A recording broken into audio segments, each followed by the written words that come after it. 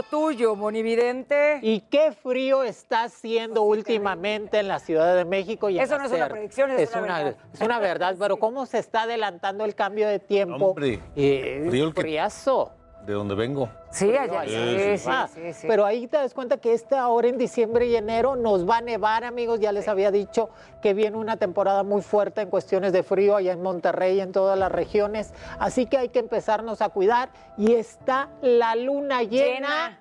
¿Y qué, qué, qué, qué- cómo nos va a afectar ¿Qué a los pasa? ¿Qué pasa? Qué felicidad. Quiero Está la luna llena desde ayer, hoy y mañana en, en el- la tendencia de Júpiter y aparte con la constelación de Aries. Pasión total, rojo. Me siento con razón así. Utiliza el rojo, el rosa, el naranja, colores fuertes. Ahora ponte esos colores, mañana también prende una veladora roja o rosa. Haz- estimula completamente la fuerza total en cuestiones de que la luna llena, junto con la constelación de Aries, que es dominante total, y Júpiter nos da grandeza, poder, fuerza y dominante también en cuestiones de guerra. Por eso Rusia vuelve Júpiter a mandar.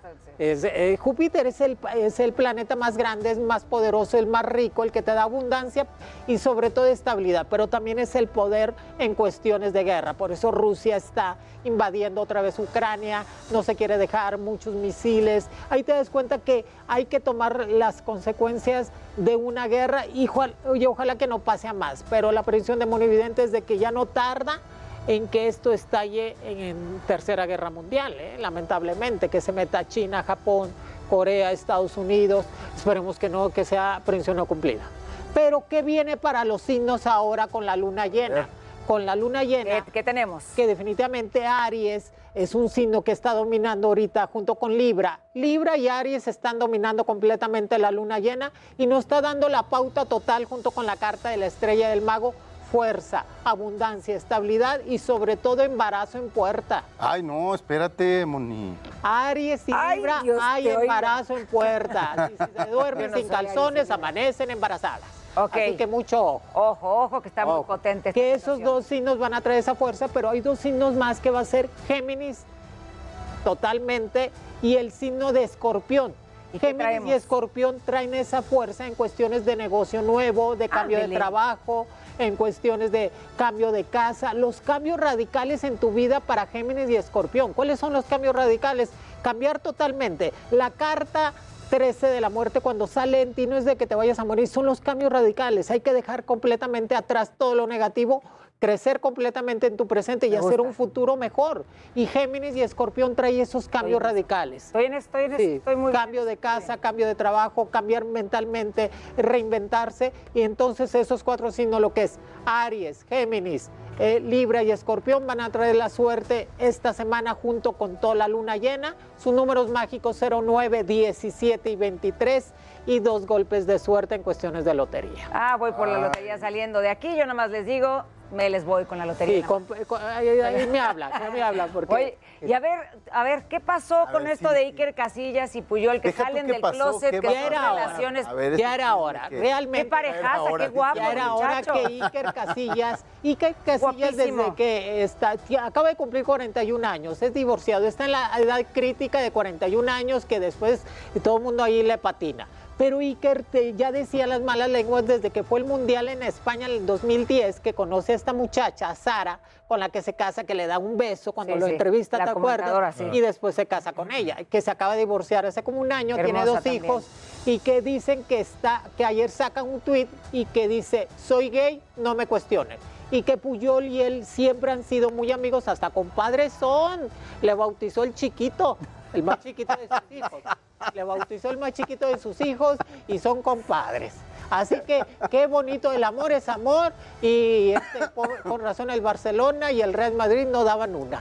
Pero así puso nomás, soy... Soy gay y que no me cuestionen. Luego lo borró, ¿no? Y luego lo borró Puyol y- pone una Y le llovió. le llovió porque, porque nadie le va a creer que le hackearon la cuenta. Él sacó su verdadero yo y era ahora. Es que qué difícil. Yo, Ay, vivir así atrapado y luego qué les importa a los demás.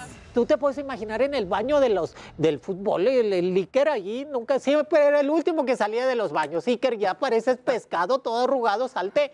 Ahorita me voy a salir, porque eso me mandaba de decir. Pero qué bueno, qué felicidad. Qué Qué, felicidad. felicidad. Sean felices que sean todos los que felices, ser que felices estén reinventando completamente. Acuérdense que Iker tuvo un infarto jugando en el 2016 y yo creo que los infartos dan por tanta opresión que tienes que no sacas a relucir tu otro yo. Ustedes sean ustedes, no engañen. no Sí, engañen. Lo de la esto infidelidad de hoy nada más sean es real. sean felices. E Iker Casillas, yo lo veo que ya salió del closet, qué bueno que sea auténtico y Puyol pues le va a estar dando palos tamales. ¿Se va al segundo lugar, Checo? Checo, que ya viene la Fórmula 1, qué bueno.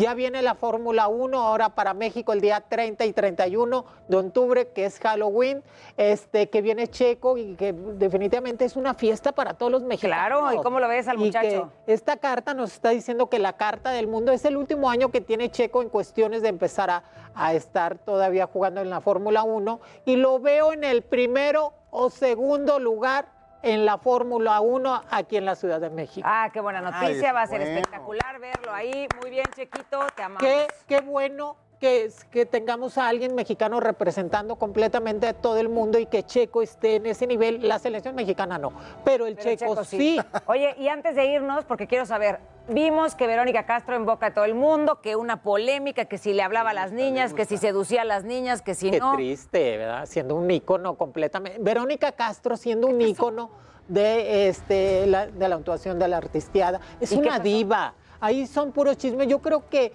fue un complot. Sí creo que Verónica Castro tuvo una relación lesbiana con varias artistas. O sea, a mí no Sí me cabe la duda de que tuvo una relación con hombres y con mujeres que es bisexual. Cada quien te- su vida y Cada quien su vida y, y ella se ha mantenido al margen. Ella es de otra época, tiene 70 años, pero le sale la carta del horcado. Va a demandar Verónica Castro a las personas que estuvieron involucradas en ese chisme. Bien, Qué bueno. bien. Qué bueno, porque haya sí, consecuencias hay que consecuencias. Es que no puedes estar hablando nada más por hablar, por ganarte. Es que se juntó el hambre con la necesidad de comer. Echando Pues chisme. qué, buena, qué bueno lo que nos trajiste hoy, Moni Vidente, te seguimos en todos lados y nos enteramos, yo me voy a comprar 0917 ahorita mismo y mañana Me están preguntando que fue. si Cruz Azul va a ser campeón.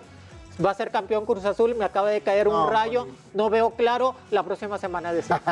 Ah, eso es todo, Eso es todo. Aquí es Oye, este Moni, programa así. Veniste igual que yo, ¿eh? En Venimos de ro- los mismos es que son Es los que colores de tendencia. Yo ahorita voy a Rosa, cambiarme por rojo. Rosa, rojo y naranja. Venga, colores venga. fuertes. Mañana pasión. sí Los calzones, pónganse calzones. Pura rojos. pasión, señora y señor, para que en la casa no falte nada y no haya infidelidad, que lo Que hablamos. sobre, que sobre. Que Sí, sobre la la- el tema de la infidelidad. La- perdón que ya no pudimos leer llamadas hoy. Mañana Se nos quedaron aquí vemos varias. Mañana leemos. Este, bueno, pues sí.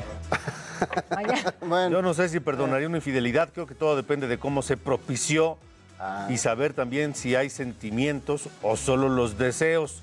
Dice Híjole. Samantha Ivonne Cuestas Flores, quiero boletos, dice. O como decía. Frida Kahlo, yo te perdono todas las infidelidades, pero no la deslealtad. Sí, también dice aquí, mi nombre es Ivette, saludos desde Puebla. Eso, Saludos a Puebla. Les enviamos un gran abrazo, un saludo. Mándenle un saludo a la bellísima Moni, que soy su fan. Eso, Dice, Norma Salazar, Dios bendiga a todos. No, el infiel nunca